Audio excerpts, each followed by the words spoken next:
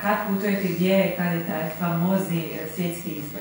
Putujem 28.11. u Atlantu, u Ameriku, a izbor je 8.12. Matija, ti si zadužena za haljinu. Haljine? Haljine, koliko ih? Pa ne znam, pitali su jednu, ali kako su svi divni i krasni, do ponjeće ih barem pet. Barem pet, hoće ti Ma. dovoljno. Ja mislim previše. A kakva je bila ta tvoja, ono, neka naj, naj haljina snova s kojom si idejom došla tu e, Mati da, da je poneseš na toj svjetskoj pisti? Pa nisam imala nešto baš precizno zamišljeno, više sam mi se nekako oslanjala na, na savjete i ukus Matije, da mi ona nekako da najbolji savjet što će najbolje izgledati na meni, s obzirom na moju osobnost, a i na cijeli taj stage i sve što me tamo čeka. Mhm, Znači to je, Mm. te onda kombinacija obje vas. Da, znači Mija, e, kad sam je promatrala u svakoj haljini pojedinačno, ona se različito osjeća u pojedinim haljinama. I sad ja već znam što jest za nju, a što nije. Ne zato što je nešto dobro ne stoji, jer sve je savršeno stoji, ali bitno je kad ona odjene haljinu, da ona bude svoja, da zna da je sigurna, da može hodati. Kako se ti haljinama osjećaš najugodnije? Pa lagana da me previše ne opterećuju, da se mogu normalno kretati, da mi nije predugačka, da mogu slobodno hodati, a sad od boja volim stvarno sve. I crvenu, i crnu, i žutu, sve su mi stvarno prekrasne.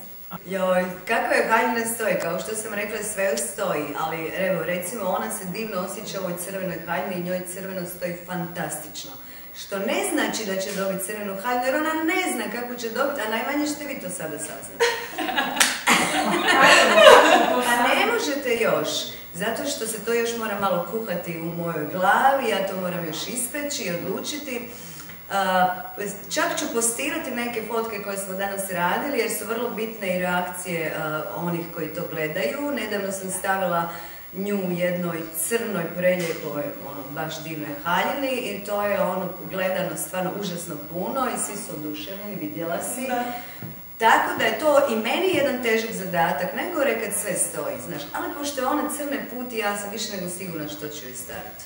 Poznali koliko je tu zapravo tih proba prošlo, što vas veže, kako ste se uh, skompale? Geni dalmatinski. Tako je, Županija nas veže, Dalmacija nas veže.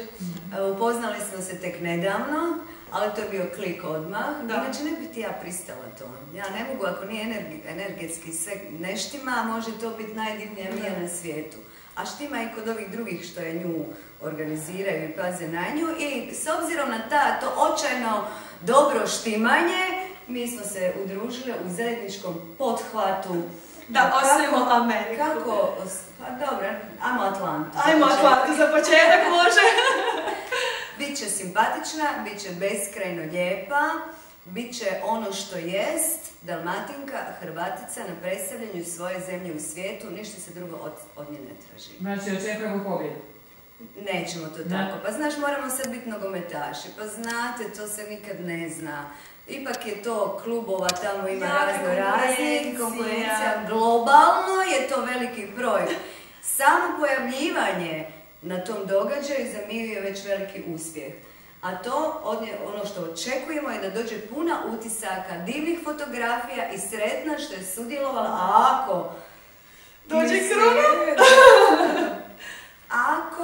mi ćemo to uputiti sad u kozmos i tu je sad jedna cijep, ode u nebo. I nebo će se povrnuti za sve. Onda držimo film. Hvala. Bye!